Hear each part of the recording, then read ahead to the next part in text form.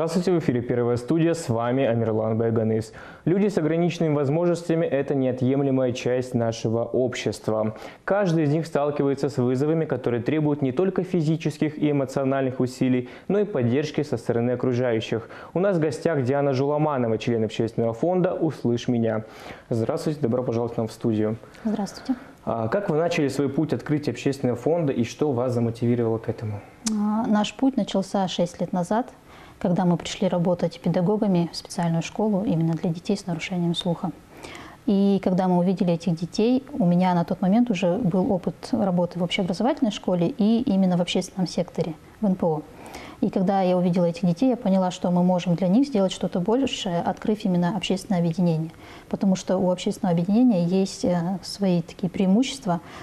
Можно, чтобы расширить кругозор этих ребят. Но вообще цель как бы была, чтобы улучшить качество жизни этих детей, чтобы они почувствовали себя полноправными членами нашего общества. А какие основные цели и задачи фонда вы преследуете? Ну, это, во-первых, улучшение качества жизни детей и молодежи с нарушением слуха и их социализация чтобы они могли войти в это общество и чувствовать себя а, на а, равных. Ну вот самая такая проблема – это трудоустройство. То есть вот ребенок отучился в школе, да, получил среднее образование, потом он идет среднеспециальное, получает кто-то высшее. Но по статистике и ну, по нашим наблюдениям а, этим детям очень тяжело трудоустроиться по профессии, по выбранной профессии. В основном это рабочие профессии, и ну, это современная молодежь, соответственно, они тоже не хотят ну, только, допустим, работать да, там, токарем и так далее, парикмахером. Ну вот узок, э, так скажем, спектр предлагаемых сейчас специальностей для этих ребят. Мы сейчас говорим о молодежи с нарушением слуха. А в дальнейшем? Ну вот это проблема. Трудоустроиться, а, найти хорошую работу, получать достойную заработную плату и чувствовать себя именно на своем месте. То есть не то, что им привязало общество, а то, что они хотят сами. Как фонд помогает глухонемым интегрироваться в общество? С помощью реализации наших проектов, вот, допустим, один из наших проектов, первый, он как раз был направлен на профориентацию ребят. Это изучение такой современной профессии, как мобилография. А, это их очень как бы сподвигло, замотивировало на то, чтобы в дальнейшем использовать технику, да, которая вот под рукой у всех сейчас ребят, э, детей, молодежи есть гаджеты. Эти гаджеты можно использовать с пользой. А, то есть э, получать от этого какую-то пользу, а, допустим, снимать те же короткие ролики, подрабатывать в каких-то магазинах да, для обзора и так далее. Вот этому мы учили в рамках проекта «Я мобилограф». Какие еще проекты были у вас? Еще у нас был проект, а, направленный именно на профориентацию в области современного лазерного оборудования – Благодаря тому, что мы участвовали в конкурсе государственного социального заказа, мы выиграли конкурс а, и а, смогли приобрести лазерный станок дорогостоящий. К сожалению, на свои собственные средства мы не могли этого сделать, спонсоров тоже не могли найти, но вот именно государственный социальный заказ помог нам а, реализовать такую свою маленькую мечту, цель, чтобы у нас был такой станок. Этот станок лазерный, он вырезает, получается, как, до чего дошла техника, да, другими словами. А, ребенок на своем гаджете разрабатывает проект, это может быть телефон, компьютер, дает а, программу, на станок, и станок уже выпускает готовое изделие, которое нужно, детали изделия. Детали изделия нужно отшлифовать, а, допустим, склеить, если какое-то сложное изделие, и все, и готово. То есть не нужно э, сутки там напролет сидеть над тем, чтобы вытачивать. И вот как раз-таки, как я уже говорила, что современная молодежь, она хочет все быстро. И молодежь с нарушением слуха – это не исключение. Они так же, как и все молодые люди современные, они хотят все быстро, здесь и сейчас получить сразу результат. И вот этот станок, он дает такую возможность. Кроме того, в рамках данного проекта, о котором я сейчас говорю, мы обучали родителей э, детей э, жестовому языку, потому что это тоже одна из проблем – когда ребенок приходит домой из школы, допустим, да, а, он общается здесь с педагогами, с учениками, ну, со своими сверстниками, с учениками, с персоналом школы, а домой приходит и дома тишина, потому что родители, те, которые не владеют а, жестовым языком, они не могут ему, соответственно, ничем помочь. И вот этот проект, э, в рамках этого проекта мы обучили 12 а, родителей, которые приходили вместе с детьми, садились за парту, как ученики, и изучали жестовый язык чтобы стать ближе. Лазерная коррекция, да, вот вы сказали. По времени сколько он занимает? Лазер, лазерный станок, обучение? Ну, обучение в рамках, э, сейчас это идет в рамках э, обучения урока, на уроках технологий для мальчиков. А вообще, ну, смотря, там никакого, ничего сложного нет. Ну, если вот прям так сесть, и ребенок конкретно нацелен, то его за час можно научить. Ну, вот как создать модель, даже там из интернета готовые шаблоны сейчас можно скачать э, и запустить на, передать на станок. Уже выходит готовое изделие. Сотрудничаете ли вы с государственными или частными организациями для помощи глухонемым? Ну, мы сотрудничаем, да, и э, одной из таких вот э, из, из таких организаций это Казахское общество глухих. Вот с ними напрямую нам бы хотелось наладить связи. Мы сейчас вот на пути к этому, чтобы сотрудничать, чтобы проводить какие-то совместные мероприятия. А что касается частных, ну, наверное, частных э, мы не можем назвать конкретно, которые именно с глухонемыми. А так в общественном секторе у нас много коллег, которые вот занимаются именно проблемами таких людей, людей с особыми потребностями. А мы общаемся, да. Общаемся, у нас какие-то общие цели, мероприятия. Каким образом можно привлечь внимание общества к проблемам людей с нарушением слуха и речи? Ну, наверное, почаще проводить мероприятия совместные с теми же, допустим, школами другими общеобразовательными, с колледжами, а, либо а, в каких-то акциях, флешмобах принимать участие.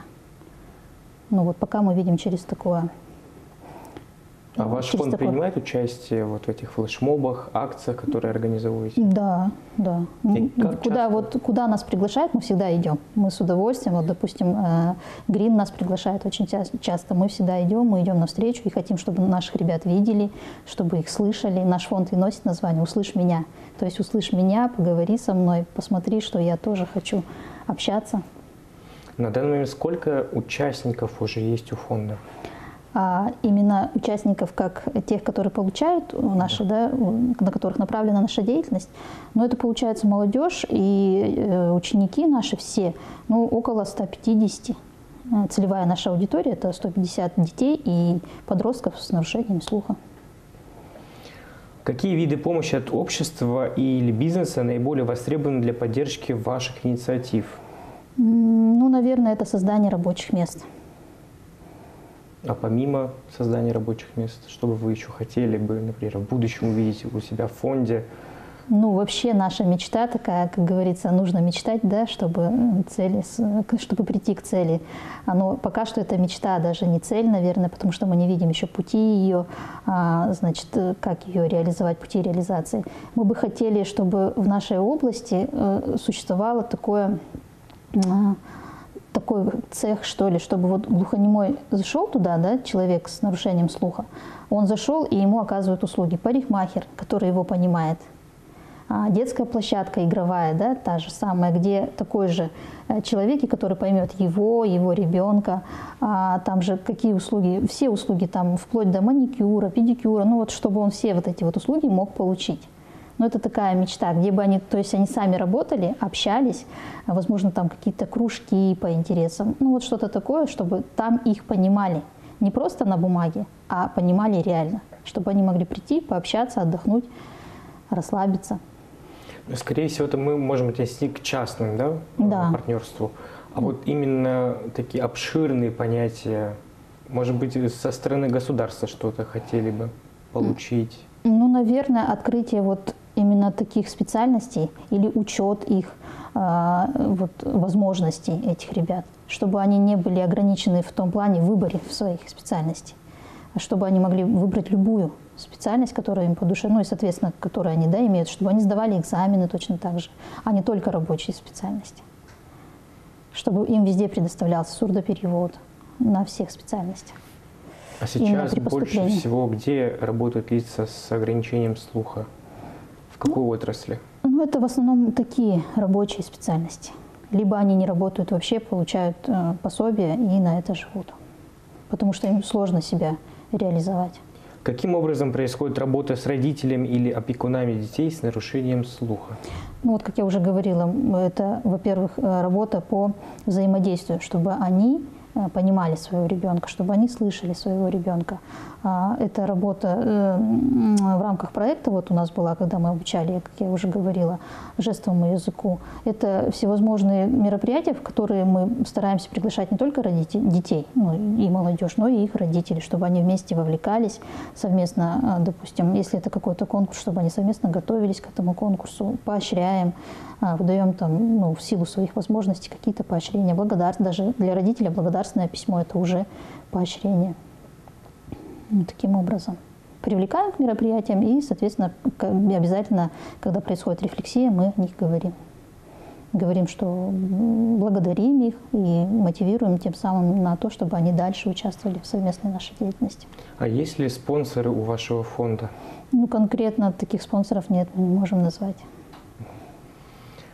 А какую роль играют волонтеры в вашей деятельности? Есть ли они у вас в фонде? Ну, если волонтерами можно назвать тех ребят самих, которые с нарушениями слуха, то да, они, во-первых, эм, помогают нам в реализации наших проектов, где-то выполняют э, работу, там, допустим, по распространению информации, тут те же самые памятки, да, а где-то по Э, изготовлению каких-то материалов. Вот как, допустим, мы проводили благотворительную ярмарку, чтобы помочь ребятам из нашего, э, из нашего специального комплекса, ну, школы, э, приобрести слуховые аппараты. И мы проводили, то есть дети пели, танцевали, и сбор вот этих благотворительных средств шел помощь. То есть здесь наши волонтеры сами выступали в качестве певцов, артистов и в качестве еще изготовителей вот этих вот поделок на лазерном станке. Эти поделки продавали, и на вырученные средства мы вырученные средства передали тому ребенку, который нуждался. А как часто проводите благотворительные ярмарки? Ну, насколько запрос от родителей. Если, допустим, родители обращаются в наш фонд и просят именно об этой помощи, то мы стараемся обязательно провести. Но такого графика нет, да? Ежеквартальный, ежемесячный? Нет, такого нет. Ну, возможно, мы к этому придем. Мы сравнительно молодая организация, поэтому нам всего лишь два года. Какие успехи вашего фонда считаете наиболее значимыми на сегодняшний день? Ну, наверное, это все-таки победа в, в конкурсах, где нам выдают какие-то средства, и мы можем на эти средства реализовать свои планы, э, свои мероприятия. А могли бы подробнее рассказать, какие конкурсы, в каких конкурсах принимали участие? Ну вот ярмарка а, проектов, который проводится ежегодно. Мы там выиграли и проект реализовали, мобилограф, я мобилограф. Потом э, мы большой вот э, проект, о котором я говорила, на э, финансирование там 5 миллионов было. Вот именно э, по э, помощи этим ребятам. Еще мы организовывали летнюю занятость. Вот тоже, кстати, одна из проблем – это то, что эти ребята не охвачены, ну, вернее, не так охвачены, как хотелось бы, не массово охвачены летним досугом, летней занятостью. Ну вот, считаем, что это было ну, как бы нашим успехом, то, что эти ребята впервые смогли летом находиться вместе, проводить веселое время, свой досуг. А, и э, сейчас вот мы на пороге, а, ну, тоже наше достижение, мы выиграли проект вернее, выиграли, со своим проектом вышли и выиграли а, лот. Э, мы хотим организовать Олимпиаду для детей, вот именно интеллектуальную Олимпиаду для детей с нарушением слуха. Там будут заложены какие-то призы, подарки, либо Ну, грамоты? пока что грамоты. Но это будет республиканская. Впервые в республике будет проводиться такая Олимпиада. Потому что на сегодняшний день вот единственное, где наши ребята могут участвовать, именно интеллектуальное направление, это э, российс, э, получается, сайт э, Российской Федерации, и э, Олимпиада принадлежит этой стране, родник знаний. Вот это единственное, где мы можем участвовать. Там международное участие и дети именно с нарушением слуха. А мы хотим организовать свою, чтобы дети с нарушениями слуха всей нашей республики смогли участвовать. Проект носит название «Я эрудит». Как можно присоединиться к фонду в качестве волонтера? Ну, написав нам, у нас есть страница в Инстаграм, у нас там номер WhatsApp. Мы всегда открыты к любому сотрудничеству. Вот, кстати, недавно к нам обратилась, обратились представители а, Академии полицейского, вот, Академии полиции, а, которые у нас здесь в Кустанае обучают. Они обратились тем, чтобы вот тоже радует то, что они хотят обучить своих сотрудников жестовому языку чтобы э, сотрудники стали ближе, чтобы они лучше понимали. если такая, не дай ситуация возникнет, что э, молодежь с нарушением слуха окажется в такой ситуации, когда именно с, поли... с представителями госорганов им нужно будет поговорить, именно полицейскими, они вот хотят обучить своих сотрудников. А тяжело ли научить человека жестовому языку? Ну, это, для этого нужно длительное время и желание человека. Потому что за один день невозможно освоить. Это продолжительное, ну, минимум три месяца нужно, чтобы получить. И то это будут только азы. А потом нужно развиваться, обязательно нужно дальше изучать. Как и любой язык, его нужно изучать на протяжении всей жизни. Насколько я знаю, у глухонемых людей есть определенный э, рамка, да, где можно показывать слова. Угу. Могли бы рассказать нашим телезрителям, например, хотя бы некоторые азы, чтобы, например, можно поздороваться с человеком, спросить, как у него дела, и тем самым помочь в трудную минуту? Ну вот если, допустим, какая-то трудная минута, то можно сказать, успоко... ну, будь спокоен. Вот так вот погладить себя и сказать, будь спокоен жест. Потом, э, когда мы говорим с глухонемым, даже что-то хотим показать, не, не зная жестов, но что-то хотим, да, хотя бы, или картинку, мы должны обязательно вот это поле использовать от плеча до, до другого плеча, потому что они привыкли смотреть, если а, человек не с нарушениями слуха, они привыкли вот на учителя, допустим, на педагога, они смотрят именно здесь. Вот именно это поле зрения, ну вот, поле рабочее. Угу. А если какая-то внештатная ситуация, помощь ему надо, как мы, телезрители могут понять, что действительно там, глухонемому человеку нужна помощь? Ну, наверное, он обратится все-таки, он найдет пути, потому что э, он напишет, допустим, если прям уж так нужно будет что-то конкретное сказать, хлопнет по плечу, к примеру. Ну, вот такой вот прям сигнала тревожности как бы нет в зависимости от ситуации а молодой человек или там ребенок, он найдет способ. Сейчас у всех есть гаджеты, он может напечатать, допустим, показать текст. Какие изменения в законодательстве, по вашему мнению, необходимы для улучшения жизни глухонемых людей?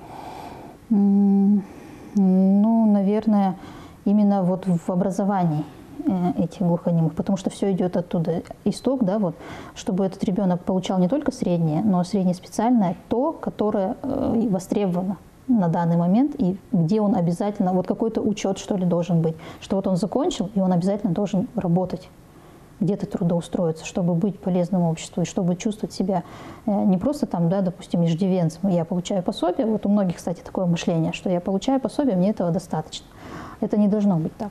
А, он должен себя реализовать, как и любой человек хочет реализации, так и ребенок или молодой человек, да, ну, вот мы говорим сейчас о молодом человеке с нарушением слуха, он должен себя реализовать в этой жизни, он должен трудоустроиться, у него должна быть любимая работа, куда бы он шел, и э, с удовольствием шел, приходил и получал за это вознаграждение в качестве заработной платы. Ну, я так считаю. Вы бы хотели только поменять в образовании законодательство, а в других секторах, там, в медицине, например, ну, нас эти проблемы, к сожалению, не коснулись. Вот те проблемы, с которыми к нам идут, вот я сейчас о них говорю, это в основном профориентация, ранее, причем профориентация, нужно рассказывать о том, что какие есть профессии и трудоустройство дальнейшее. А на данный момент есть профессии именно с сурдопереводом? Профессия есть такая, да. Угу. Но сможет ли, э, возьмут ли его в организацию, если он сам не слышит? Здесь большой вопрос. Какую роль играют современные технологии в поддержке глухонемых? Вот вы сказали, есть гаджеты, есть различные устройства, там, да, написать, напечатать угу. может глухонемой да. человек. Ну а помимо этих, какие бы еще технологии вы бы хотели видеть в будущем? Ну вот вы, как вы только что задавали вопрос, вот крика помощи, да, вот в, в определенной помощи, вот чтобы считывали, и, возможно, а, когда глухонемой показал это жестом, а в ответ звуковое. То есть какое-то такое приложение – чтобы он показал жестами, а в ответ он получил, ну вот человек, который слышит, смог услышать речь его. Перевод именно с, с языка жестов а, именно в звуковое. Такое приложение хотелось бы. А что бы вы еще улучшили нашу цифровизацию республики? Ну, доступ, наверное, ко всем а, госорганам без сурдопереводчиков. Это онлайн-сурдоперевод, чтобы был чтобы ему не обязательно было иметь с собой вот сейчас, на сегодняшний момент, чтобы пойти в какие-то, даже в ЦОН, допустим, обратиться, он должен иметь с собой сурдопереводчика, который закреплен за ним. Возможно, чтобы это как-то было оцифровано. А хватает ли на данный момент сурдопереводчиков для лиц с ограниченными возможностями? Либо есть какой-либо дефицит в этом направлении? Ну, насколько мы знаем, вот молодой человек, он пошел, э, поступил, вернее, в какое-то среднее специальное заведение, за ним закрепляется, либо за группой закрепляется. То есть он ну, не, таких трудностей не испытывает в том, чтобы найти государство на сегодняшний день э, обеспечивает полностью его таким сопровождающим лицом, можно сказать. Как часто организуете мероприятия или акции для привлечения внимания к проблемам глухонемых? Я у вас уже этот вопрос спрашивал, да, угу. но хотел бы узнать подробнее. Сколько планируете акций, например, на будущий 2025 год? Какие акции запланированы в этом 2024 году? Угу. Ну, в 2024 году, возможно, это будет какая-то одна акция новогодняя, в основном вот, да, перед Новым годом обратиться к обществу для того, чтобы а, они смогли помочь этим ребятам каким-то. А, но опять же не просто так, а чтобы ребята сами участвовали, какой-то благотворительный концерт или опять же благотворительная ярмарка, почему нет, тематическая, чтобы люди приходили, приобретали, а эти средства шли на помощь таким ребятам. А на будущее ну, мы хотели, конечно, ежеквартально, чтобы у нас это было запланировать и проводить. Но пока что у нас не хватает как бы ресурсов для того, чтобы все это четко спланировать и реализовать. А какие программы хотели бы видеть? Там, каждое мероприятие освещает, либо только по праздникам? Новый год, там, Наурыз, 8 марта? Ну, наверное, каждое мероприятие. Потому что каждое мероприятие носит, несет какую-то определенную ценность для данных ребят, для молодежи. А в целом, какие трудности для лиц с ограниченными возможностями касаемо слуха? А в передвижении, возможно, в общественных транспортах, вот вы сказали, э, ЦОН, да, угу. сурдопереводчик ходит вместе, а как он может выйти, например, и ему что надо для этого? Э, Прогуляться он хочет, например, в магазин пошел. Ну, наверное, список он будет иметь с собой в любом случае. Либо показывать э, супермаркеты сейчас как, реш... как основное решение, что не нужно просить, взял, на кассе рассчитался, и все. Ну вот самое простое.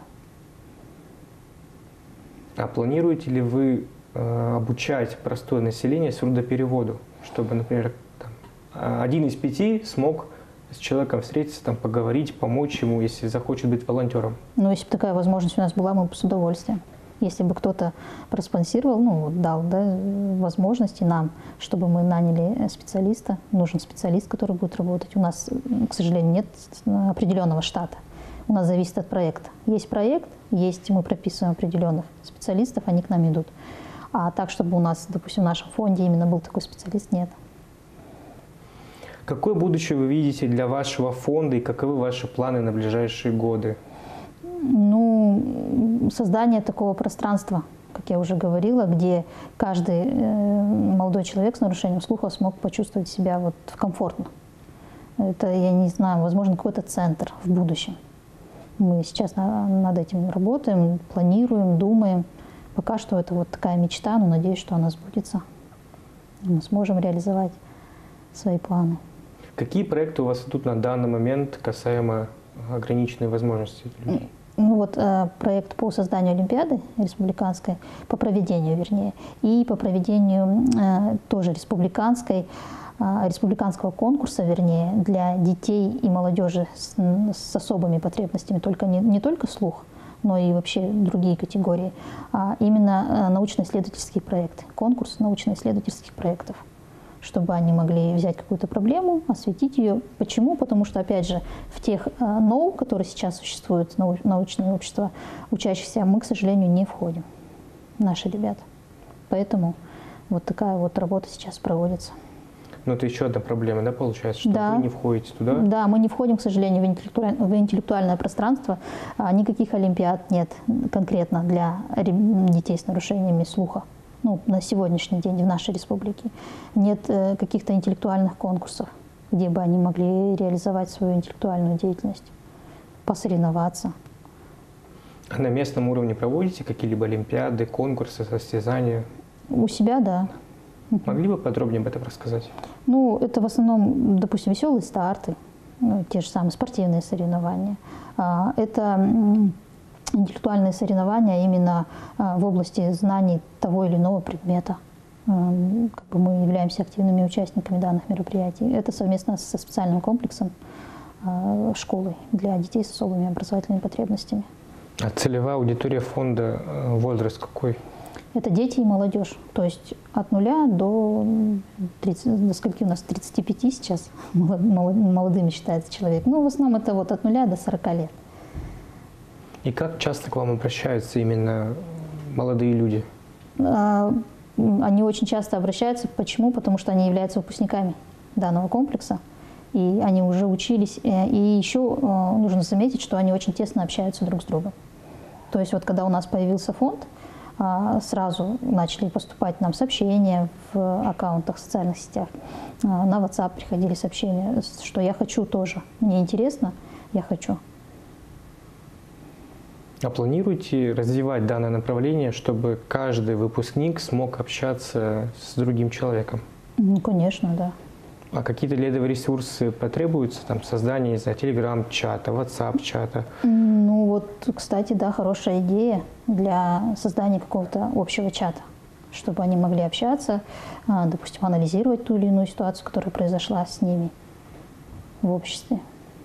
Что бы вы хотели изменить в нашем обществе, чтобы людей принимали как простых граждан, без какой-либо, какого-либо ярлыка, mm. скажем так? Ну, наверное, это воспитание в себе общечеловеческих качеств, таких как толерантность, быть терпимее, не раздражаться в том же общественном транспорте или там в очереди в супермаркете, когда, а, допустим, молодой человек с нарушением слуха не может, да, допустим, рассчитаться, помогать, идти навстречу всегда слышать этих людей. А как защищены права э, людей с ограниченными возможностями? Ну, он, как и любой гражданин нашей страны, в случае чего может обратиться ну, за помощью в специальные органы. То есть, если он видит это нарушение, он обязательно придет, скажет об этом.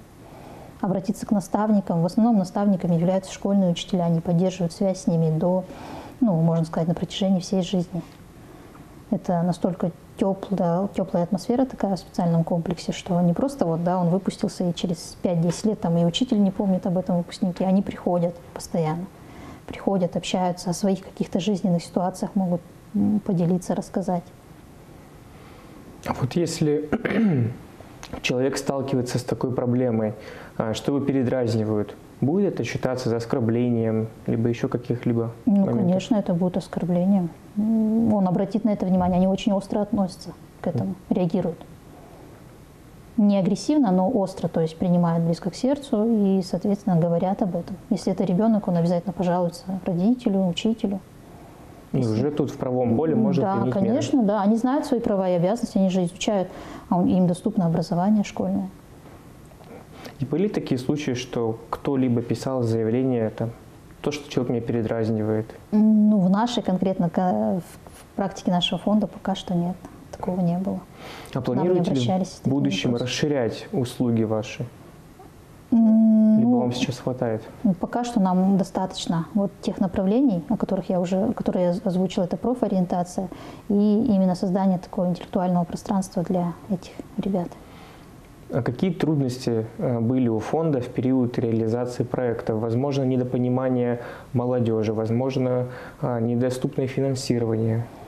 Ну, изначально, да, финансирование, как бы финансирование это основная как бы, проблема, с которой мы сталкиваемся, когда мы хотим закупить качественное оборудование, а у нас есть рамки. Когда мы хотим э, закупить, допустим, э, пригласить больше специалистов, но у нас опять же рамки, в рамки которых мы должны уложиться. Конечно, это проблема. Как вы решаете эту проблему? Возможно, предлагаете частным инвесторам, чтобы они зашли в ваш фонд, помогли, ну, либо только государственную поддержку на это рассчитываете? Пока что только государственная поддержка. Мы еще не обращались ни какие частные такие организации. Если честно, мы даже не знаем о том, вот, кстати, это проблема, мы не знаем, к кому обратиться, кто реально поможет э, и, ну, и сможет нам помочь. У кого есть такая возможность и желание. В нашей области есть несколько крупных компаний, которые предлагают рабочие вакансии. Mm. Сколько, например, процентов, скажем, условно трудоустроены лица с ограниченными возможностями касаемо слуха? Ну, наверное, вот по нашим наблюдениям это не более 50%. 40-50. Но фонд помогает, сопровождает их во время там, подачи заявлений на работу, собрания, э, собирать документы все. Но если они обращаются, то да, мы все, что возможно, мы всегда мы идем навстречу. Ну, то есть все бесплатно, безвозмездно стоит, да, правильно? Да. А могли бы рассказать, куда обратиться, куда написать, если человек захочет быть вашим волонтером? А, наш аккаунт УМКСТ, УМ, нижнее подчеркивание КСТ, либо на, прийти в специальный комплекс, найдут нас именно учредители данного фонда. Мы работаем. А специальный комплекс это где? Подскажите. Это Гашка-2, школа. Специальный комплекс для детей с особыми образовательными потребностями. Что бы вы хотели сказать телезрителям касаемо данной проблемы и, возможно, найдутся люди, которые хотели бы помочь э, вашей проблеме? У нас много планов. Э, мы хотим, чтобы э, дети и молодежь с нарушением слуха э, жили полноценную жизнь, проживали. Мы хотим, чтобы у них были равные возможности. И для того, чтобы реализовать это множество планов, нам, конечно же, нужна спонсорская помощь. Благодарю вас за уделенное время. Надеюсь, нашим телезрителям данная информация была полезна. На этом у меня все. Всего доброго. До свидания.